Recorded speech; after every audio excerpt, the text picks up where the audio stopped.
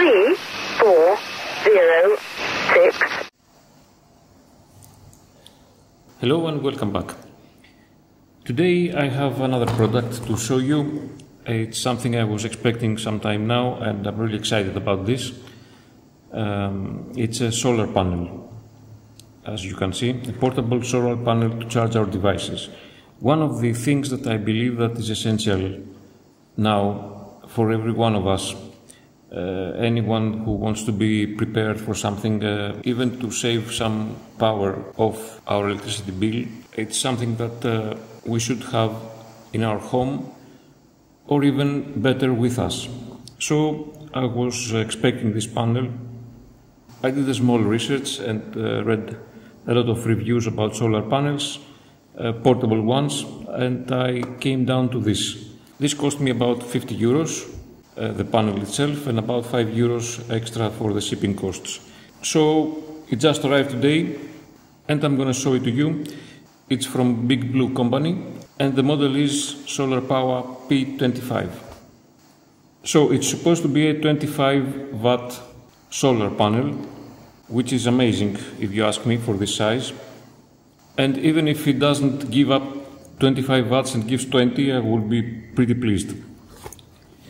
Let's see some of the specs here on the box.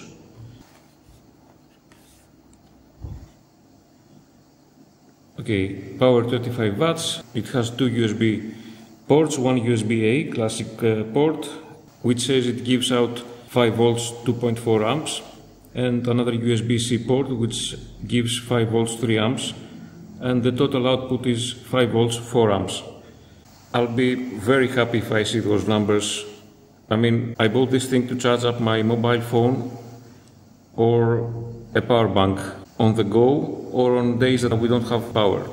So it's for this purpose. It's not to charge uh, a big device or something else. I, I bought it exclusively for 5 volt devices.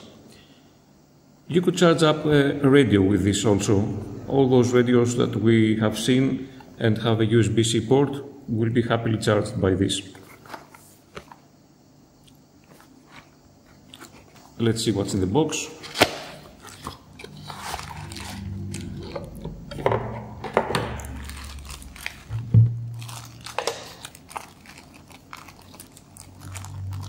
I guess some kind of user manual.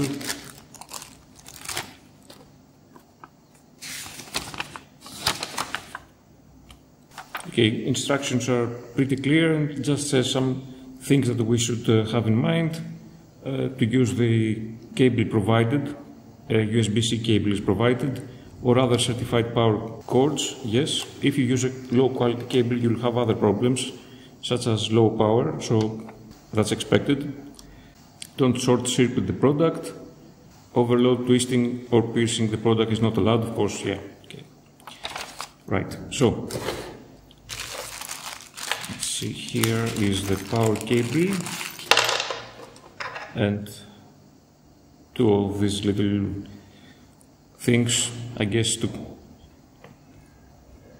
put the panel on your backpack or something like that. A USB-C to USB-C cable. And this is the panel.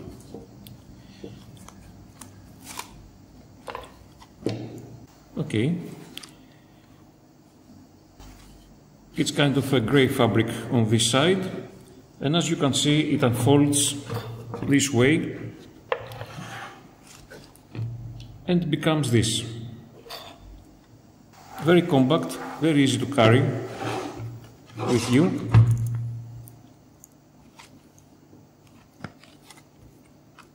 I really like this thing. I mean, yeah, didn't expect that.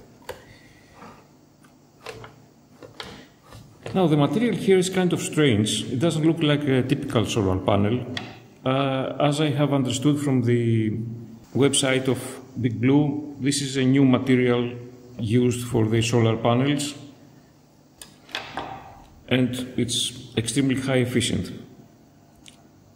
From what I see here, if I shed some light on this material, underneath it I can see something like the classic solar panel cells. But of course, I don't care how it looks as long as it does job. Let's check the connectors here. This is the USB-A port and this is the USB-C port, both protected by rubber caps. This is a waterproof solar panel. Of course, it's not to leave it in a thunderstorm, but it will easily take a light rain. Okay, and out of curiosity, I'm going to connect my meter here, but of course, I'm inside the room.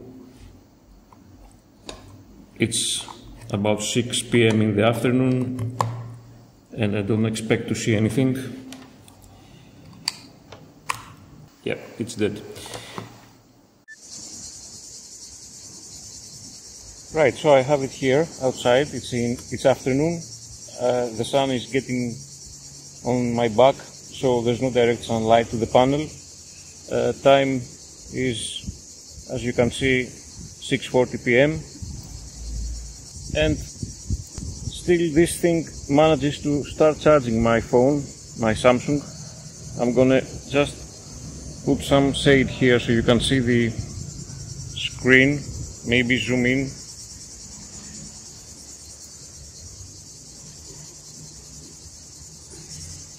Of course, you're going to see it upside down. As you can see, if you can see it, it says 4.67 volts and about 008 amperes. Nothing ideal for charging. Still, my phone is has started charging even now.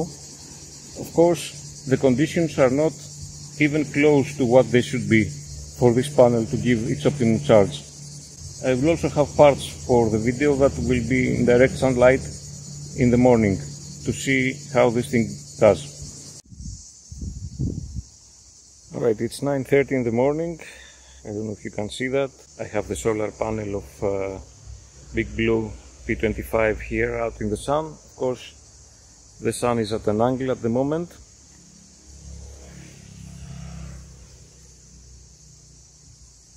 But it's fine. And I have put my phone to charge. I can't show you the screen down here because it's impossible with the sun to read it. From what I have seen, you have to take my word from it. It's about 0.8 to 1.2 amps, maybe a little more. Uh, but my phone here says 14 minutes until uh, full, which means that it's drawing uh, the proper current, not super fast, but the proper one to charge normally at a normal speed. And uh, we'll test it again later in the day at noon to see how better it gets when the sun is directly up. Right, so it's uh, 1.30 p.m., 1.30 p.m. and uh, as you can see I have put two devices now on the solar panel, the P25, my smartphone and the Baofeng radio that charges from USB-C and they're both charging my phone says 37 minutes because I have both devices on. And the Baofeng is charging also. One of the one of the ports is really impossible to show. I don't know if it's if it shows it's very not very easy. It shows 4.9 volts about 0.6 amps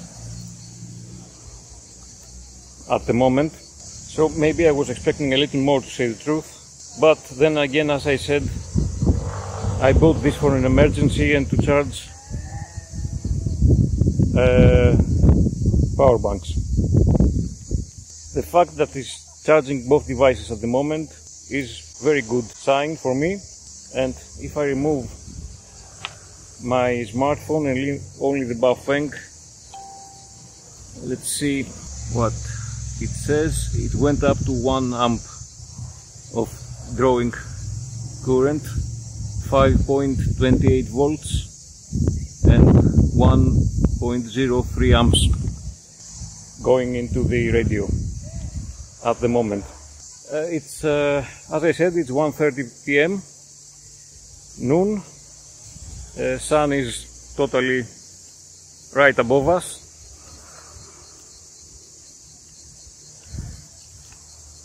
and I think it's doing a solid job.